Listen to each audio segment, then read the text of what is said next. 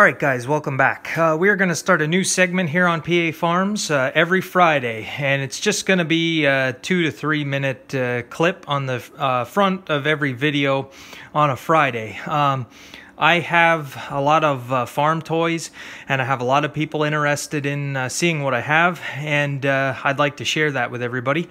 Um, but most of them are packed away, so it's going to give me a good excuse to unpack some of these farm toys and showcase them once a week. Every Friday, we're going to start a new segment. Uh, I guess I'll call it Farm Toy of the Week. Uh, it'll be just a short clip and then we'll have your regular video. I know Fridays I used to do a story time.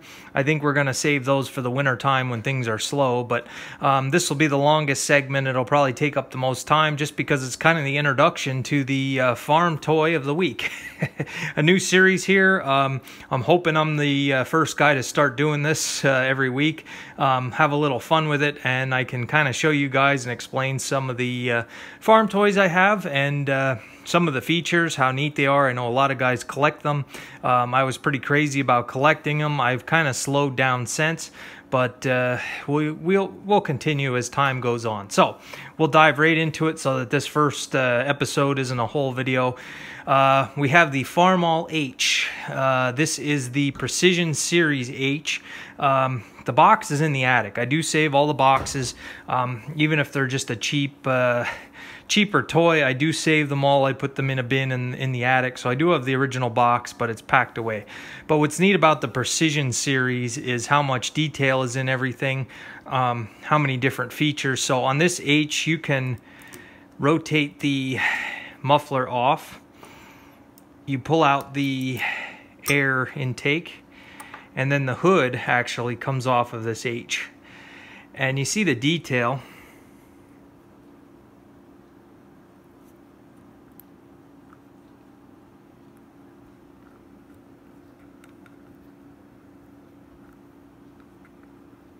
I mean, they went down to the point where they have the uh, spark plug wires. Uh, they also have the uh, gauges. They have little, gotta get in frame here. They have the little gauges that even have uh, uh, these ends on. Now, the one thing I have to get some glue. This is how this H came. Uh, one of the spark plug wires was uh, disconnected here. I think they're just glued fast, so I have to get a little bit of super glue and put that back. Um, also on this H, along with the uh, uh steering wheel here, that you can see the see the action there, the throttle.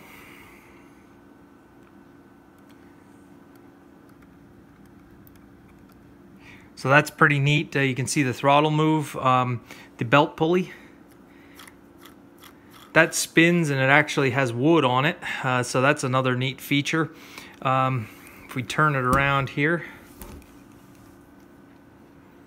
the brakes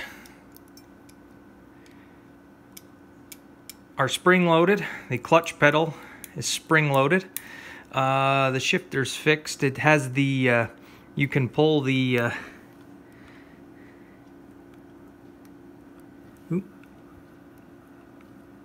pull the lever there.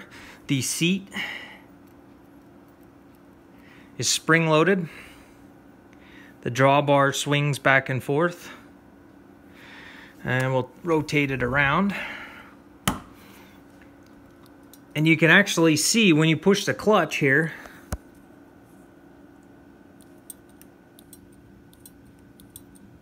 it even moves the rod right for the uh, clutch housing there. So it's uh, pretty neat. Uh, you can get them. They get pretty detailed. Uh, they do get very expensive when you get into the Precision series of uh, farm toys, but uh, this was a gift actually. So I didn't end up half. I didn't have to buy this. it's probably $200 or more if I had to guess. So this was a gift. So I have it in my collection. Um, at one time, I was only going to collect the farm toys of the equipment that I actually owned uh, like my Super C and my 8N Ford. And uh, it's hard to just collect what you own. I'll have to play with that. That muffler's, it's like spring loaded and it's a little tricky to get back on. So uh, this will be the first segment of this uh, new series. This video is about five minutes long, but we're going to cut it down to only about two minutes from here on out. So the very first uh, video here, you can see the decals on the fuel tank. Um, the lights, it has a, an actual lens. They don't light up or anything. Uh, I believe this is, let's see what it is here. It is a 1 12th scale Farmall Model H. And I don't see if it's a Ertl. I'm not sure. I'd have to look at the box. But uh, the way it feels, it looks like the oil pan even comes off. So, yep, this is uh, first segment. We'll see how it goes if you guys are interested. Every Friday, I will take you through a different uh, farm toy. It'll be the farm toy of the week. It'll be a regular segment, and we will just, uh, boy, I wish I could get that back on. There. Uh, we'll just uh, go into our regular video. Yeah, there's even more cables down here that move. For the starter and the choke, so. Pretty neat farm toy very expensive. Like i say it was a gift so i'm kind of proud of it to have it in my collection. So uh, thanks for watching guys and uh, back with the regularly scheduled video. All right guys welcome back. I just uh, wanted to show you something. In the soybeans that has me confused too here. We got the beans coming up. I did not get the herbicide on yet uh, the uh, post emerged but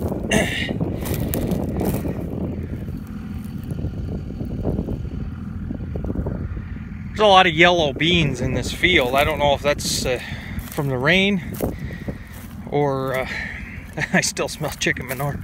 Uh, there's just yellow. It's all. It's just yellow. Um,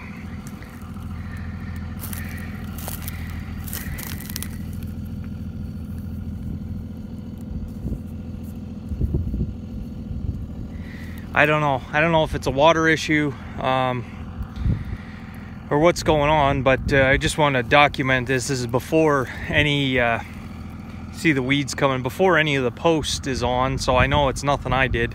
Uh, there's just, there, I don't know if there's just something in this ground or uh, it's just the, too much water, but uh, you can see how yellow it's all, all the way through the beans. Um, on a more positive note, that real yellow cornfield does look like it is uh, starting to green up. It's looking like it's coming back. It's snapping out of whatever. Um, gonna be trying to get the nitrogen on. Maybe next week, uh, just because next week uh, we're getting some rain showers, so I'll do it before rain. So I don't know, yellow beans.